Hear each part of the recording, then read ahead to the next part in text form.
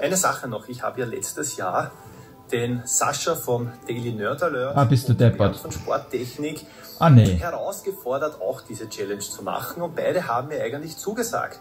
Nur mh, hm, ist es ein Jahr vergangen und beide haben eigentlich schon. diese Challenge noch nicht Kann gemacht. gar nicht sein. Ich weiß, dass Sascha schon sehr mit dem Gedanken spielt, weil ich mit ihm viel in Kontakt bin. Ach, er hat was. geschrieben, er mag Challenges. Ah. Also von daher sind ja die Voraussetzungen wunderbar und ich würde es auf jeden Fall freuen. Jetzt haut er die Leute auch noch an, zu Kommentare zu machen.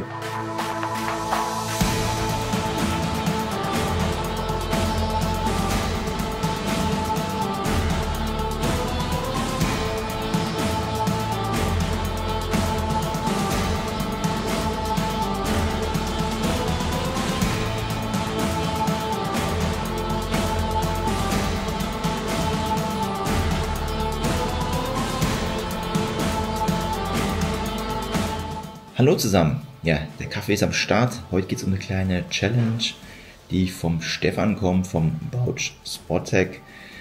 Da geht es darum, hier längere Zeit eine Uhr zu testen und hat er uns ein bisschen herausgefordert. Das ist schon vor einem Jahr und äh, jetzt habe ich es mit Kindern, Familie so weit organisiert bekommen, dass ich mich zumindest mal der Challenge stellen kann. Die erste habe ich schon geschafft. Ich bin heute Morgen um 6.20 Uhr am Sonntag aufgestanden. Das ist schon ja sehr bitter, aber es hat gut funktioniert. Und äh, ja, jetzt geht's gleich los. Die Challenge besteht darin, in zwölf Stunden jemals jede Stunde vier Kilometer zu laufen. Und der Stefan nutzt es immer zum ja, Akkutest. Ich habe momentan keine Uhren, weil ich alle noch ein Ladegerät habe. Ich werde auch mit vier Uhren laufen. Und zwar, ich mache einen Akkutest dann mit der Phoenix 8 AMOLED Version in der 51 mm Variante, der Solar Version auch in 51 mm Variante, ebenfalls die Phoenix 8 und dabei ist dann noch T-Rex 3, die ich gerade noch teste. Da gibt es jetzt mal den Langzeittest, was da jetzt mit der Akkulaufzeit passiert. Und natürlich auch die Apple Watch Ultra 2, die ich dann entsprechend auch hier mit dem WLAN abschalte, beziehungsweise die dann hier nur wirklich GPS-Daten misst. Und die Uhren werden jeweils auch nicht ausgeschaltet. Das heißt also, sie laufen auch dann wirklich zwölf Stunden durch. Bei der Challenge geht es aber nicht darum, jetzt hier Bestzeiten aufzulaufen, sondern hier, ja, man kann alles machen, man kann laufen, man kann gehen. Es geht einfach nur tatsächlich ums Ankommen und das generell zu schaffen. Für mich ist es eine große Herausforderung, weil die größte Strecke, was ich bis jetzt gelaufen bin, war ein Halbmarathon. Das war natürlich am Stück. Das ist ein Unterschied. Bei der Challenge habe ich natürlich die Möglichkeit zu regenerieren. Das heißt also, wenn ich dann jetzt hier, keine Ahnung, eine halbe Stunde für die vier Kilometer brauche, habe ich eine halbe Stunde Ruhepause und dann geht es wieder weiter für die nächste Tour. Ich habe mir dann auch verschiedene Touren zusammengestellt um einfach mal zu gucken, was hier so in der Gegend zu laufen ist. Manche sind mal ein bisschen etwas länger, 4,2 Kilometer, manche etwas kürzer, sind 3,9 Kilometer. Also so die Mischung macht es an der Stelle, was halt natürlich hier möglich ist. Genau, die erste Tour wird jetzt gleich auch zum Bäcker sein. Das heißt also, ich werde dann hier mal die Mannschaft mit Frühstück versorgen. Da freut sich dann meine Frau drüber, die das sonst immer macht, ehrlicherweise. Ich bin dann beim Frühstücksdienst jetzt nicht so der, der, der hier glänzt mit viel Anwesenheit beim Bäcker. das ist immer so der Part, den mir meine Frau meistens übernimmt. Ja, die T-Rex 3 startet bei 91%. Die habe ich leider nicht mehr geschafft, ganz aufzuladen.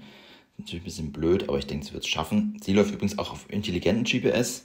Die Apple Watch Ultra 2 ist hier auf 100% aufgeladen. Die Phoenix 8 Solar, die ich jetzt hier auch auf der Seite trage, wo dann die Einspeisung stattfinden kann, ist auf 100% geladen.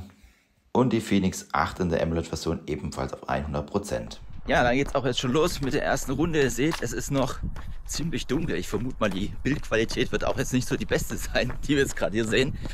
Und äh, ich habe jetzt auch schon Licht dabei. Ich glaube, ich jetzt noch gleich richtig ins Dunkle. Und die Schwierigkeit wird am Anfang auf jeden Fall sein, hier langsam zu laufen. Das heißt also auch wirklich eine niedrige Pace zu haben. Und ich hoffe, das mit dem Wind funktioniert auch so halbwegs. Die Aufnahmen passen soweit. Genau, da würde ich sagen, starten wir mal durch. Die Phoenix-Uhren laufen übrigens auch beide hier im SAT-IQ-Modus. Das heißt also auch diese suchen sich hier das beste GPS raus. Aber energiesparend, das gleiche wie dann hier die Amazfit T-Rex 3.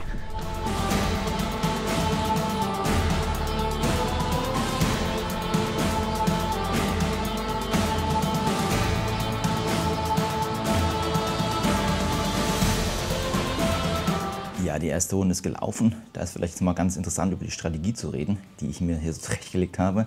Es gibt bestimmt einige, die werden sagen, na gut, das ist jetzt nicht viel Strecke. Die Herausforderung ist aber tatsächlich einmal die Zeit und natürlich, wie gesagt, dass ich diese Distanz bis jetzt noch nicht gelaufen bin.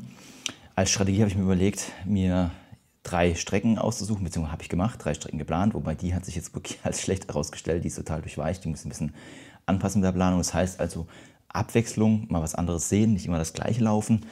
Ähm, ich möchte auf jeden Fall von Anfang an langsam laufen. Ich habe mir jetzt auch hier so ein ISO-Getränk organisiert, dass ich dann die Salze, Magnesium etc. auch immer alles schön nachliefere. Das heißt also auch kontinuierlich hier trinke. Und den Energiehaushalt versuche ich ja wirklich hochzuhalten, dass da wirklich nichts da einbricht. Und ja, ich kriege dann auch noch ein bisschen Unterstützung von meinen Kindern. Die wollen einmal eine Runde mitmachen. Von meiner Frau, mit der ich zum allerersten Mal laufen werde. Das hat es nämlich noch nie gegeben, tatsächlich, dass wir mal zusammen laufen. Entweder waren die Kinder zu jung oder ich war zu schnell. Und das wird auf jeden Fall auch für uns hier Weltpremiere. Und genau, so ein bisschen, wie gesagt, Abwechslung reinbringen, das ganze Thema. Und nicht immer dran denken, oh je, jetzt habe ich noch eine Runde zu laufen, noch eine Runde zu laufen oder es sind noch ein Kilometer. Das wird irgendwann sicherlich kommen. Aber ich möchte es halt so wenig wie möglich oder so gering wie möglich halten, um dann auch wirklich dann das Ziel zu erreichen. Ja, jetzt frühstücke ich. Ich bin schon eigentlich so zu spät. Äh, 7.45 Uhr, eine Viertelstunde geht schon wieder los.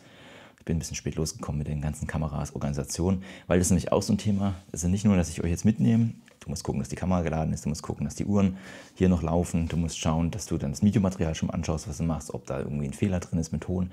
Das heißt also, man hat dann auch hier so ein bisschen nebenbei was zu tun. Und wenn die Bildqualität jetzt nicht vielleicht die beste ist, wie ihr gewohnt seid, dann bitte ich es zu entschuldigen.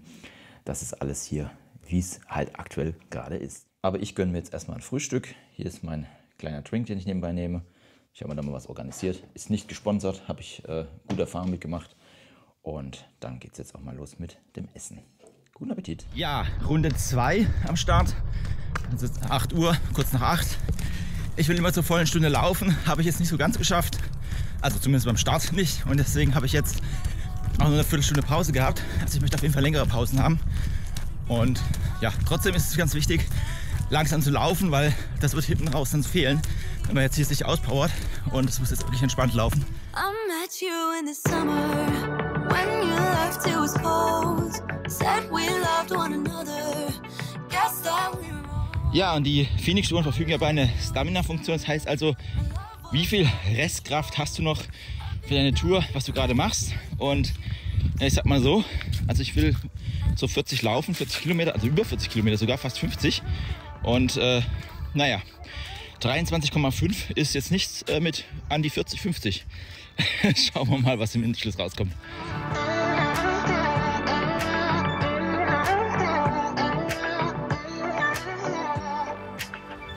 Ja, und das Praktische ist auch, wenn man zwei Garmin-Uhren trägt, hier sind es 21,5 Kilometer. Hier sind es 21,5 Kilometer. Ha, lag doch, oder? Man muss es nur zusammenzählen. walls and talking to myself now and then I'll try to laugh but I'll cry a bit as well. I was never any good at being away from you. I met you in the summer when you left it was cold. Said we loved one another. Guess that we were wrong. Ja, und das Wichtige ist auch stetige Energiezufuhr. Ich habe jetzt mal ein schönes Brötchen aufgemacht zweites Frühstück und auch was zum Gönnen. ja, und nebenbei sichte ich schon das Videomaterial, ob alles passt. Und die Uhren sind auch ganz gut am Start hier. Wenn wir mal ganz kurz auf die Akkustände schauen, die Uhren laufen 2 Stunden 30. Ich habe die Apple Watch Ultra immer hier mit dem Wassersperrmodus, dass hier nichts rumgeschaltet wird. Akkustand ist momentan bei 84 Prozent. Bei der T-Rex 3 habe ich leider nichts gefunden, wo man es direkt sehen kann, aber man sieht oben zumindest ein Akkustand, der ist noch recht gut voll. Bei der Phoenix 8 in der AMOLED-Version sind es momentan 96% und bei der Phoenix 8 Solar 94%. Die hat jetzt irgendwie 2% mehr Verbrauch gehabt, aber ich habe jetzt auch gerade die Hintergrundbeleuchtung etwas runter gedreht, die war etwas zu hoch gedreht. Und mir ist frage ich gerade, was für Symbole hier oben sind. Einmal hier das Telefon, da unten sind so Augen. Das ist Live-Track. Hm. Ich bin jetzt gerade irgendwie überfragt. Naja, schauen wir mal, was zum Schluss rauskommt. I've been going crazy without you so long. I met you. Kann ich auch, Stefan. Grüß dich. So, Runde 5 mit Bekleidung. Hallo. Hi. Spontan eingeladen. Was hat dich denn überzeugt, so spontan mitzukommen? Ich wollte, dass es dir nicht so langweilig ist, wenn du zwölf Runden heute läufst. Ich dachte, dieses Argument mit ähm, langsam laufen und ich bin schon so halb am Arsch, rennt ja nicht weg, ist ein besseres Argument. Ich hatte einfach auch nichts Besseres zu tun. langsam merke ich auch ein bisschen die Beine. Wie ist bei dir? Super. Nach 300 Meter? 300 Metern läuft. genau. Ja, die Anni kennt ihr ja schon vom Blog. den ich irgendwann eingestampft habe. Und äh, ja, wir machen jetzt mal hier unsere kleine Tour, vier Kilometer und schön entspannt, gemütlich.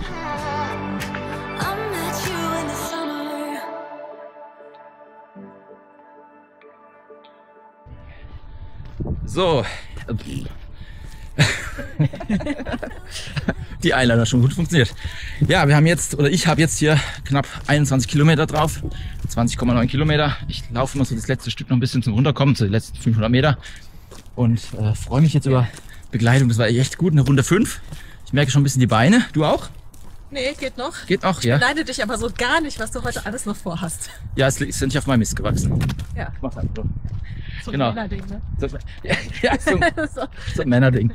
Sag- Challenge accepted. Sagt sag die, äh, die eine Frau ist, wahrscheinlich immer rumzickt. Was so. Aufpasse. nee, also Runde 5 ist jetzt beendet, beziehungsweise ich bin gerade auf dem Heimweg. Und vielen Dank nochmal fürs Mitlaufen. Gerne. Spaß In, gemacht. wir sehen uns dann in Runde 11, 12, ja? Klar. Klar? Habt ihr gehört? jo. Ja, so, jetzt Runde 6. Ich bin jetzt gerade ein bisschen am Gehen, um mich wieder einzulaufen. Und ähm, ja, die Challenge ist ja auch gehen oder laufen. Und ähm, ich merke es langsam schon ein bisschen, muss ich sagen. Es wäre gelogen, wenn nicht.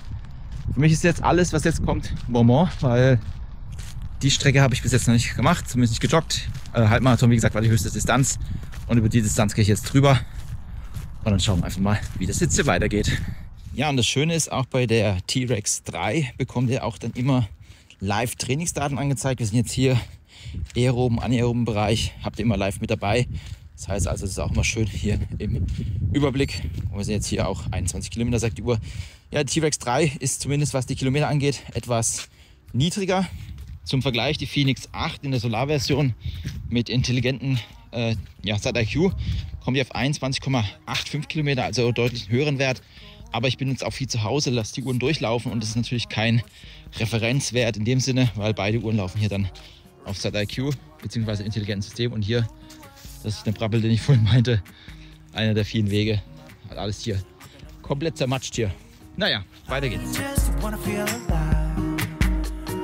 It's just what I do when I'm out. So try not to hold me down. Feel alive when I'm in this.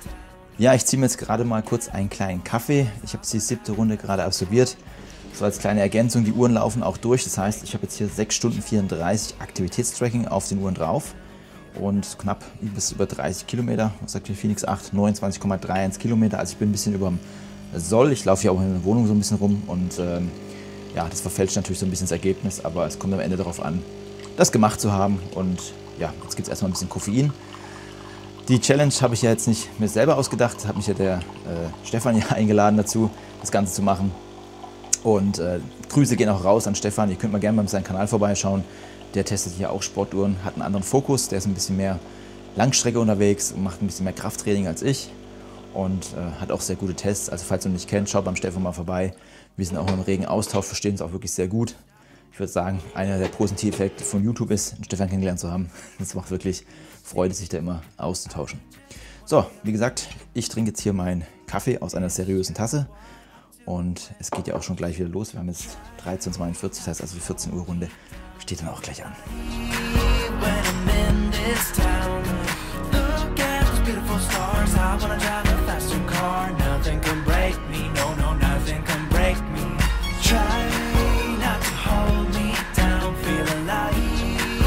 Ja, ich muss auch echt sagen, die Energie neigt sich langsam zu Ende.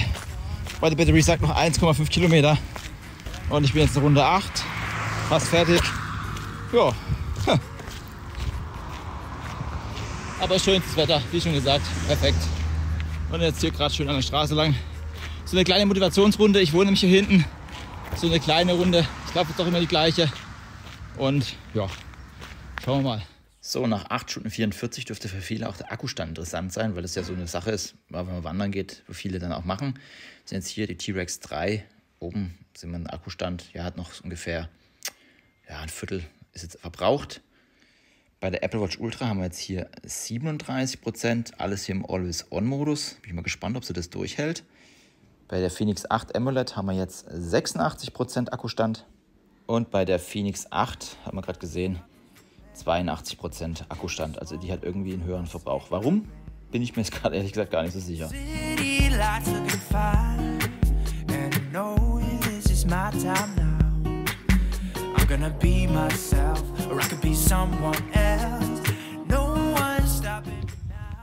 Ja, und so sieht die Garmin Body Battery aus, wenn sie sagt, hier, du Vogel, was machst du denn da?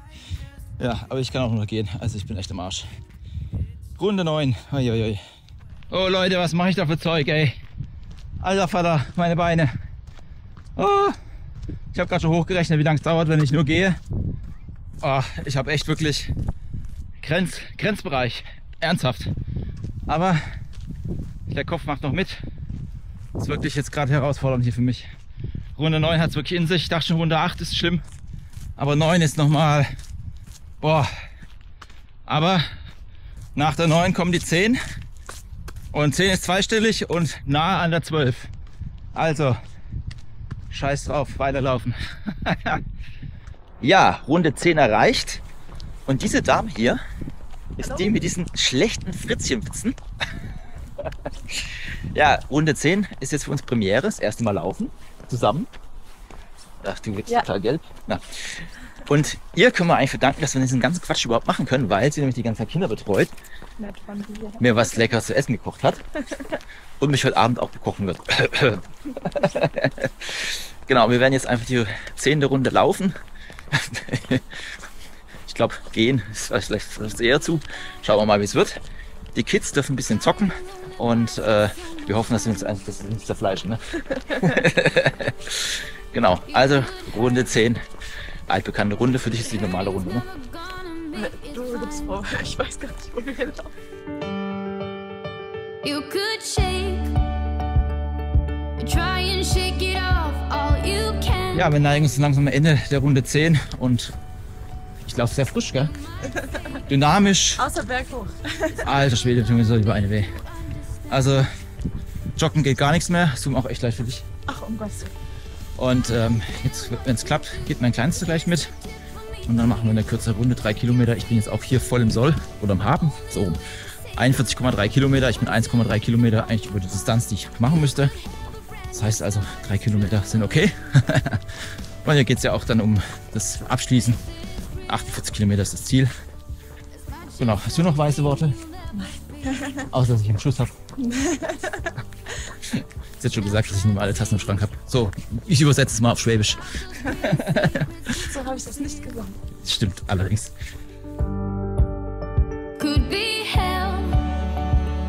You're shutting someone up that knows you well. Tear you apart. Pull you from the end back to the start. Ja, gleich ist es soweit. Meine aller, allererste Marathondistanz. Und bei dieser Zeit von über 10 Stunden werden die Sponsoren bestimmt Schlange stehen. Keiner so gut. gleich haben wir es geschafft. Na gut, es sind ja 4,2. Äh, irgendwie sowas. Gut, wenn wir dann die 4,3 haben, dann hat man es auf jeden Fall durch. Das Wetter ist auch hier optimal. Schöner Sonnenuntergang jetzt schon. Das heißt also, der Tag neigt sich auch schon ein Ende zu. Und hier kommen wir jetzt tatsächlich 4,22, glaube ich, ist es. Egal, wurscht. Ich habe noch ein paar Meter vor mir. Marathondistanz, erste Mal in meinem Leben. Ich bin stolz auf mich, tatsächlich. Keine Topzeit, aber egal. So, letzte Runde und mein Großer ist dabei. Moin, moin, genau. Der unterstützt mich jetzt hier noch. Der macht jetzt hier mit mir noch die letzten dreieinhalb, vier Kilometer. Muss ich noch machen. Dann habe ich die 48, beziehungsweise vier Kilometer. Aber der Papa läuft nicht mehr rund, ne? Ja. Der läuft wie so ein Rentner.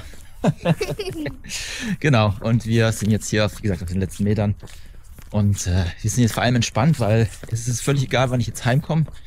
Weil ich muss jetzt nicht eine, ja, eine Tour danach machen, sondern kann einfach dann entspannt mir die Füße hochlegen. Noch hier die Uhren abfilmen, wie die Akkustände aussehen. Danach ins Bett. Du gehst danach ins Bett. Ja, wir haben noch was Essen bestellt, ne? Ja. Ganz lecker, genau. Und äh, die Uhren abfilmen und dann, ja, geht's dann auch in den verdienten Feierabend sozusagen. Weil der Tag neigt sich auch schon langsam dem Ende zu. Sehen hier, die Sonne geht schon unter. Das heißt also, auch die Tage werden kürzer. Ja, dann machen wir jetzt die letzten Meter, ne? Ja. Danke für deine Unterstützung.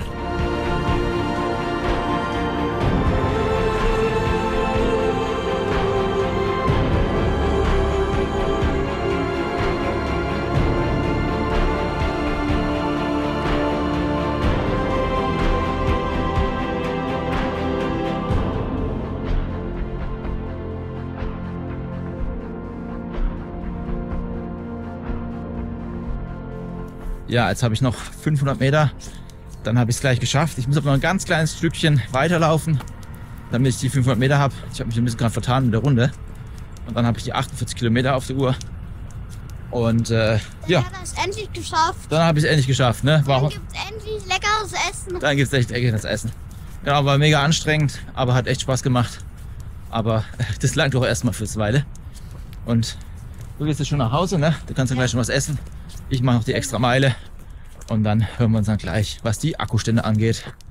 Ja, wir nähern uns jetzt dem Ziel auf 40 Meter. Dann haben wir die 48 geschafft. Die Phoenix 8 oben im Salat zeigt ein bisschen weniger an. Ich richte mich aber jetzt nach der Emerald-Version. Ich kann einfach nicht mehr.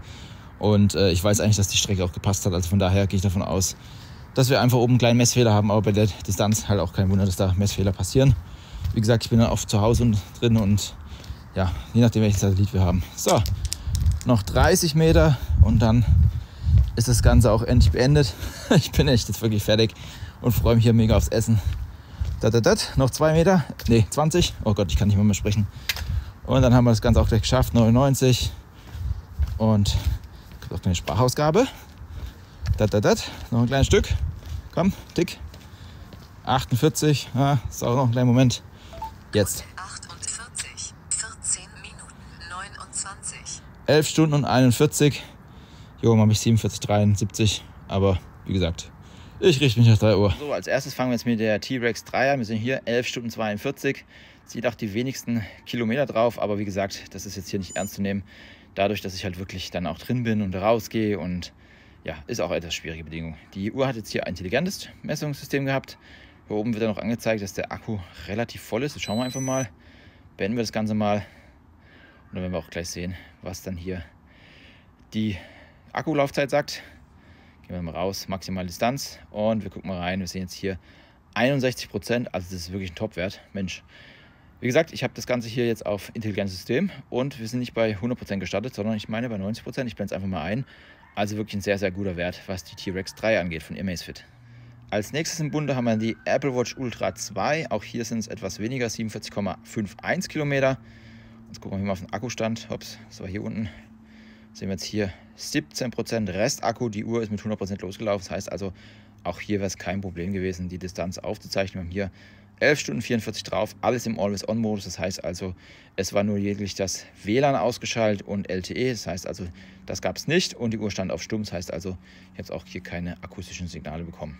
Als nächstes im Bunde haben wir dann die Phoenix 8 in der Solarversion. Sind jetzt hier 11 Stunden 45 und 47,8 Kilometer. Und wenn wir zum Akkustand gucken, sehen wir auch hier oben 76% Restakku hat noch die Phoenix 8 in der Solarversion. Wir sind hier oben, jetzt gerade eben eingeblendet, 76%. Und auch hier sind wir bei 100% gestartet. Und last but not least ist die Phoenix 8 im Always-On-Modus. Also hier war das Display dauerhaft angewiesen. Und hier haben wir eine Akkulaufzeit von 81% und Restakkustand. Und ja, das ist sehr gut. Auch hier SATA-Q-Modus sowie die Phoenix 8 in der Solar-Variante. Und dann werden wir das auch Ganze jetzt auch hier gleich beenden. Und dann geht's zum lecker Essen. Zwei Tage sind nun vergangen, ich kann endlich wieder normal stehen und da bietet sich natürlich ein kleines Resümee an.